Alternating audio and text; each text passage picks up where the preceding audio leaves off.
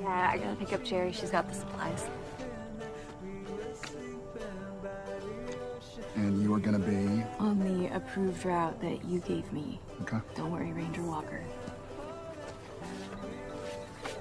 Now get up to the house. The kids are waiting on you with your parents. It's game night. Right. How do I play that game again? Every time you tell me the rules, I, I, I black out. Babe, just go in there, go have some dinner, go play some games. They're just so excited to see you. You could lose every single game and it wouldn't matter. Why are you talking about straight to me losing? Hey, be safe. You be safe. Stell's gonna whoop your butt.